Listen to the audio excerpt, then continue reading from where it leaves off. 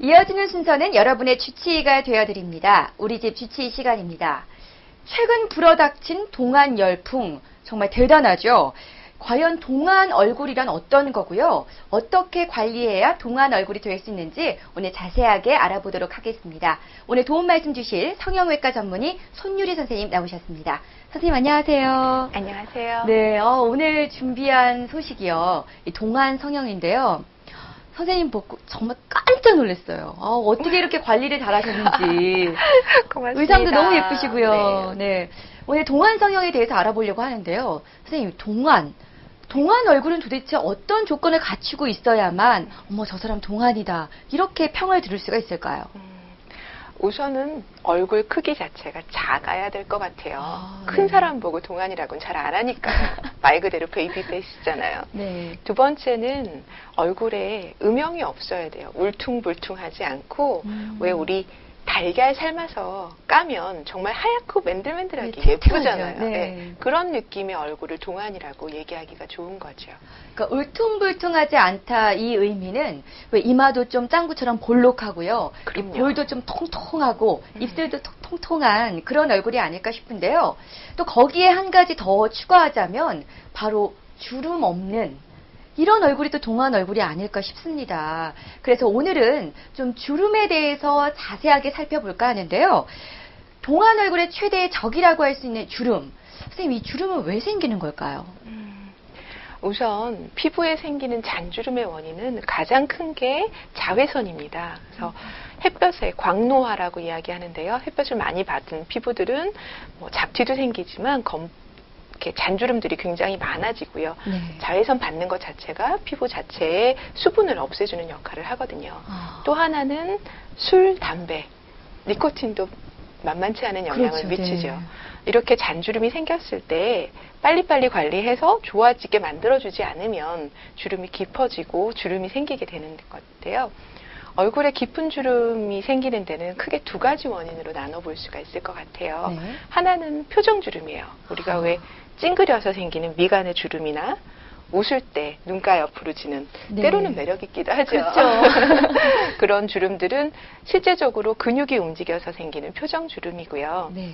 두 번째는 나이가 들면 중력을 못 이겨서 중력 때문에 얼굴에 있는 연부 조직들이 처져 내리는 거예요. 네. 젊었을 때는 근육에다가 근육을 골격 뼈 구조물에다가 단단하게 붙잡아주는 인대들이 튼튼하기 때문에 얼굴이 딱 탱탱하게 위에 네. 올라가 붙어 있을 수 있지만 나이가 들면 점점 허물어져서 처져 내리는 음. 거죠 아래쪽으로. 네, 네. 그래서 연세 드신 분들 얼굴을 보면 전부 다 밑에 쪽에 다 볼륨이 모여 있어요. 그러니까요. 위는 맞아요. 꺼지고요. 그렇군요. 이 주름과 탄력을 잇는 원인 두 가지를 설명해 주셨는데요. 이 먼저는 표정 주름. 사실 왜 눈웃음 치고 이런 분들도 왜 눈가에 주름 있잖아요. 이런 주름과 또 한 가지는 나이가 들면서 이 몸도 나이가 들면 약해지듯이 피부도 이 잡고 있는 인대가 약해지면서 밑으로 처지는 그러한 현상이 나타날 수 있다고 합니다. 그렇다면 이런 거를 보완하기 위해서 요즘 이거를 굉장히 많이 하신다고 해요. 그게 바로 동안 리프팅입니다. 동안으로 만드는 리프팅, 끌, 끌어올리는 건가 이런 생각이 드는데 네. 도대체 어떤 건가요? 맞습니다. 피부에 주름이 생겨서 늘어진 부위는 좀 줄여주고요. 전반적인 원리, 가장 기본이 되는 것은 중력을 이기는 거예요. 중력을 아. 거슬리는 거죠. 네. 아래쪽으로 처져 있는 조직을 전반적으로 다 위로 끌어다가 다시 모아서 전체적으로 아까 삶은 달걀처럼 네, 네. 탱탱하게 만들어주는 거죠. 아, 생각만 해도 참 좋네요. 요즘은 정말 너무 많이 의학이 좀 발달돼가지고요. 처져 있는 거를 이렇게 위로 올려줄 수 있는 시술이다. 그렇다면은 이번에는요, 아마 주름하면 거의 도가 트신 분들이 계실 겁니다. 우리 어머니 세대 40대 이후 뭐 50대, 60대까지도 이 주름에 대해서 굉장히 예민한 나이가 아닐까 싶은데요. 네. 이렇게 좀 연세가 있으신 분들은 어떠한 방법을 좀 사용하시나요? 네. 40 대, 50대 제일 많이 오시는 연령대죠. 아이들 웬만큼 키웠고 그렇죠. 이제 이제 어느 날 거울 보니 얼굴에 주름은 자갈자갈하다고 아, 오세요. 그래요, 맞아요. 그런데 그런 분들을 우선 윗눈꺼풀, 아랫눈꺼풀 굉장히 많이 처져 있어요. 그래서 아. 나 젊었을 때는 쌍꺼풀이 정말 한미모 했는데 동네 소문난 쌍꺼풀이었는데 지금은 없어요 하고 그러니까요. 피부가 처져 내리니까 그런 거거든요. 그래서 제일 많이 하시는 수술이 상안검, 하안검, 주름 제거 술들을 가장 기본적으로들 많이들 하시고요. 어, 또 하나 이제 그 연령대가 되면 V라인 턱선 가지고 계신 분 찾기 어렵습니다. 전반적으로 이게 다 쳐져 내리니까 옆에서 봤을 때 여기 턱선이 쳐져 내려서 이렇게 사탕 문 것처럼 되시는 그러니까요. 분들이 맞아요. 많으세요. 근데 그러자고 정말 60세 넘으신 분들이 하시는 고식적인 방법의 안면 거상술 왜 간혹 보면 이렇게 귀 앞쪽으로 해서 쭉 흉터 있으신 분들이 아, 있으세요. 네. 그런 수술을 하자니 시간도 너무 오래 걸리겠고 애들 아직 학교도 보내야 그러니까요. 되고 네.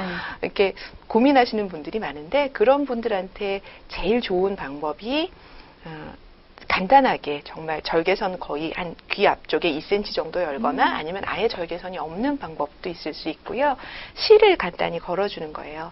그 실은 특수하게 고안된 실이어서 조그만 돌기들이 실 안쪽에 나와 있거든요. 음. 그래서 집어넣어서 조직을 당겨주면 그 돌기에 연부 조직이 탁 걸리면서 더 늘어지지 않게 만들어주는 거예요. 네. 그게 흔히들 얘기하는 동안 리프팅.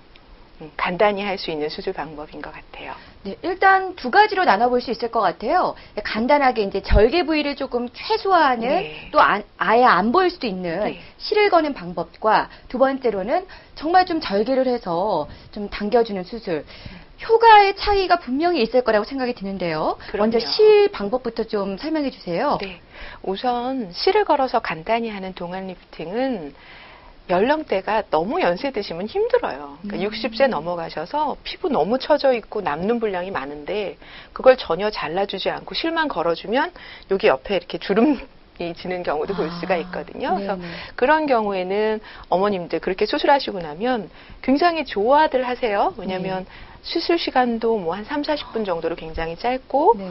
일상생활에 한 3, 4일 정도는 충분히 복귀하실 수도 있고 멍도 네. 크게 안 들고 그렇지만 안타까운 건 조금 했으니까 지속 기간도 조금 짧은 거예요. 아. 그래서 보통 한 3년에서 5년 정도라고 보시면 좋을 것 같고요. 네네. 어, 정말 이제 우리 할머님들 아, 요즘은 60세 넘어가도 할머님이라고 얘기하기는. 어, 좀 죄송스럽긴 하지만 어쨌든 연세가 많이 드신 분들 60대, 70대 네. 넘어가시면 진짜 피부가 많이 남거든요. 그 피부를 어떻게 할 방법이 없어요. 그래서 네. 저희가 앞으로 절개선을 넣고 피부 전체 면을 박리를 하고 쭉 당겨주고 위쪽에다 걸어서 남는 피부 잘라주고 꼬매주는 거죠.